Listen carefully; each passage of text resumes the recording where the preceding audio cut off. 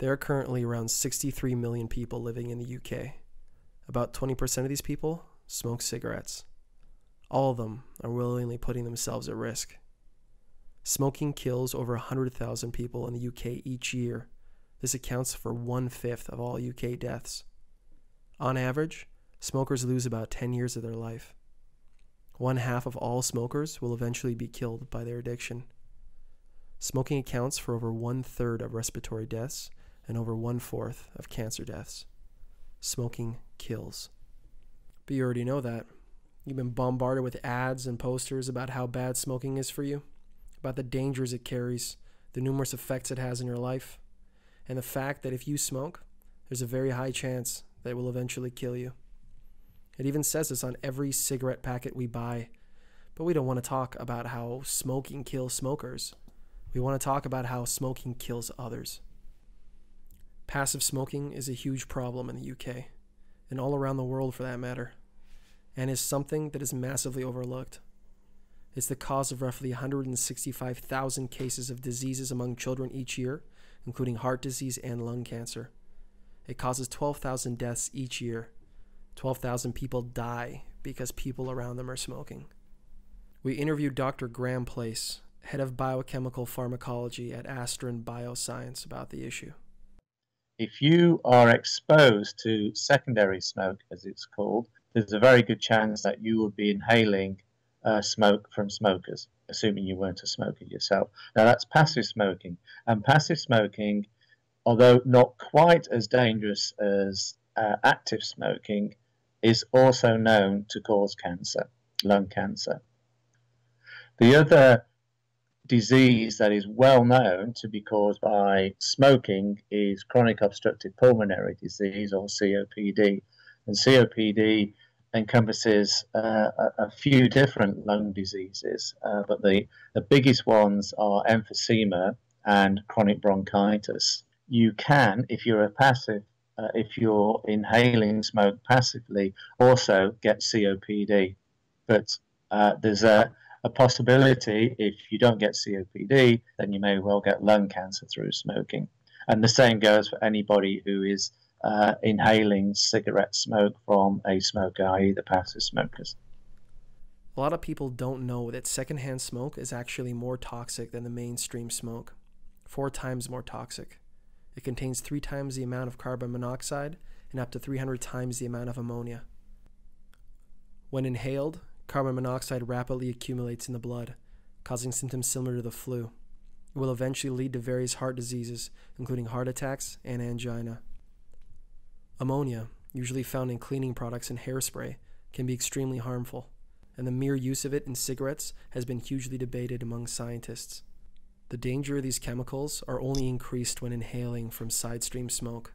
Inhaling secondhand smoke will increase the risk of heart disease and lung cancer by 25%, and with 40% of children exposed to secondhand smoke, this puts a ridiculous amount of children in unnecessary and unfair danger. The EPA has stated that as many as 1 million asthmatic children have had their condition worsen by exposure to secondhand smoke. The smoke doesn't only affect children medically. It's estimated that around 22 million children are at risk of learning and reading deficits because of exposure to secondhand smoke. The effects of passive smoking on children doesn't just affect their childhood. Women who were exposed to smoke as children have had a significantly lower chance of being able to conceive and a significantly higher chance of suffering miscarriages.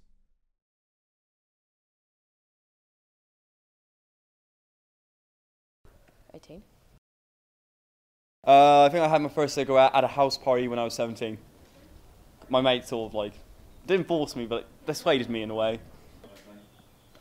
I was quite young I think I started at school, so I must have been about 16 when I started smoking. Um, I did quit for a while, um, but I got back into it when I came back to uni.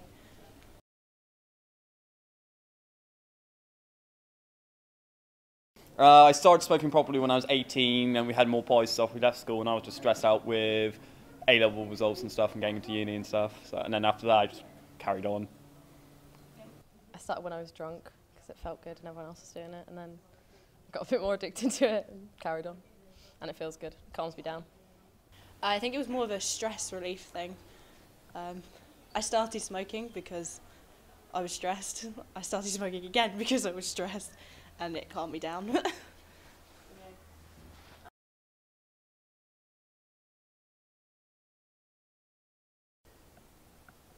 a lot. um, probably about 10. More if I go on a night out, I smoke more. Probably around 10. Depends how much money I have. Um, or if I'm drinking. Oh, um, six? I'm gonna go with six.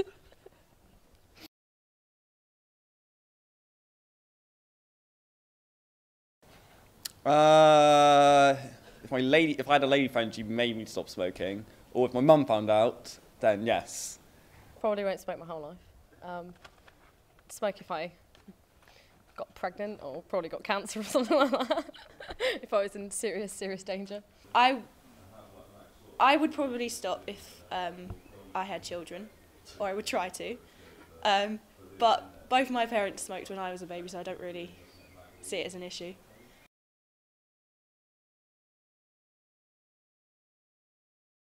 Normal smoking. Normal smoking? Normal smoking.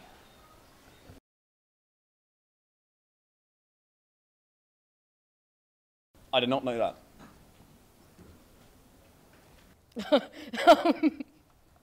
I did not know that. I would think that normal smoking is worse, only because I'm inhaling it. Babies and infants, in particular, are at a huge risk. Not only are they directly exposed to the smoke of parents or siblings, but they are also fed the chemicals in their food and drink. Here is an average 200 milliliter baby bottle. This is what it looks like in a household of non smokers. This is what it looks like in a household with just one smoker. Roughly 10% of what the baby is consuming is tar. Would you feed this bottle to your child? The level of secondhand smoke a child is exposed to is almost directly proportional to the likelihood of the child becoming a smoker as an adolescent or an adult, meaning passive smoking could eventually turn into a deadly cycle. So we know that cigarettes are very harmful to both smokers and passive smokers, but what about the alternatives? Things like e cigarettes and vaporizers have become very popular over the last few years and are often marketed as much safer alternatives to smoking. It's often proven that they are still dangerous for the user themselves, but are they any better for bystanders? We'll start with e cigarettes. E cigarettes produce a vapor, as opposed to the smoke of a regular cigarette. The vapor is released into the air only when the user exhales, unlike regular cigarettes, which release a constant stream of smoke as a cigarette burns. However, this vapor still contains an extremely high amount of nicotine. Dr. Camilla Stoltenberg, Director General at the NIPH, says the health risks of long term cigarette use in the population are unknown. Since e cigarettes supply nicotine in the same quantities as cigarette smoking, the harmful effects from nicotine can still be expected. However, although they still contain a great deal of nicotine, e cigarettes don't contain anywhere near the amount of harmful chemicals, such as tar, as traditional cigarettes. So while they are still harmful to bystanders, any risk to health from secondhand e cigarette vapor are much lower than that from exposure to tobacco smoke. Another alternative is vaporizers. These devices have blown up in popularity and are the reason behind a great deal of people quitting smoking. But do they improve the issue of passive smoking? In 2011, an Italian company, FlavourArt, carried out a study into the substances found in exhaled smoke and vapor. The measured substances included carbon monoxide and nicotine. The results found that no nicotine was present in the exhaled vapor, and the rest of the substances were far below any harmful levels. Here's an air filter from a tobacco cigarette room, and here is an air filter from the vaporizer room. The report even states that it was more hazardous to breathe the air in any major city than it was to breathe the secondhand vapor. This is very promising for the future.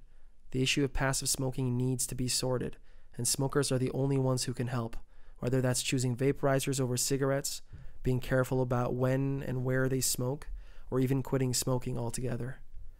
There are currently 63 million people living in the UK. About 20% of these people smoke cigarettes. All of them are willingly putting themselves at risk. About 80% of these people don't smoke cigarettes. None of them are willing to put themselves at risk. Remember, smoking doesn't just kill you, Smoking kills others.